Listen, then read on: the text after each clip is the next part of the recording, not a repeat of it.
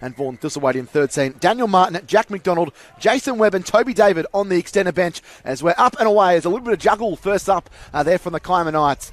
Carroll now goes down the blind side, and would you believe it, the captain in his final game here at Ron Costello Oval.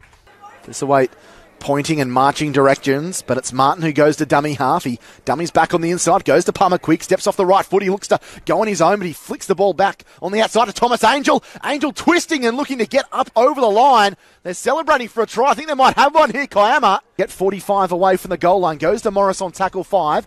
He goes in the air. It just holds in the, the wind a little bit there, and it's spilt back. Play on is the call. Morris goes. Throw a lovely ball back on the inside. And it's a marvellous try to the Shellharbour Sharks. Gretchen acting half. Morris out to Carroll. They got numbers out if they want to go that way.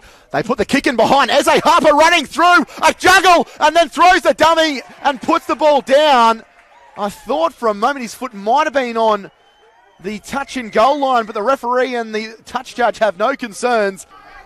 Last tackle though, out of acting half. Bowles goes to the middle and it's Kilmore. And Kilmore with a spiralling torpedo of his own. Um, back up there, it's a knock on. It's been picked up by Palmer Quick. Numbers left and right, and they'll stroll themselves in. That's an easy try for Kiama. Aiden Menzies scores. Defensive resolution here. Palmer Quigg throws a couple of dummies, then short to Thistlewade. Support back on the inside, takes a deflection into the in goal. And they've got there, they've picked up the scraps, has the halfback. Kiama desperately trying to create some meters. A ball out the back. Aaron Gretch, like a thief of the night, bounces on it and bounces over the try line to score for Shellharbour. As he makes his way um, back towards the dressing room.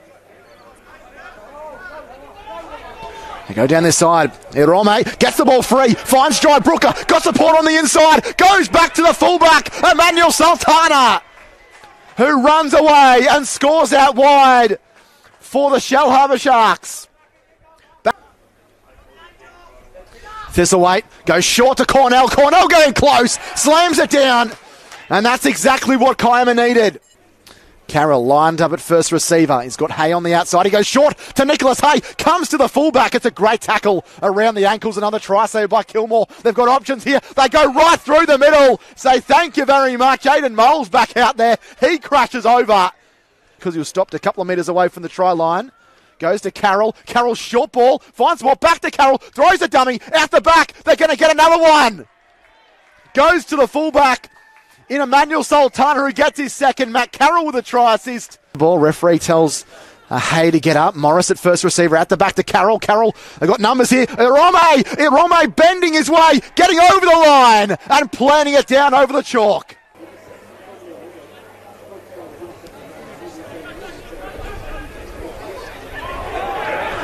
And go through the middle, and they're going to race away. And Jacob Seabrook is going to run around and put the icing on top of the cake for the Shellharbour Sharks. It's probably been the thing that has let the Knights down.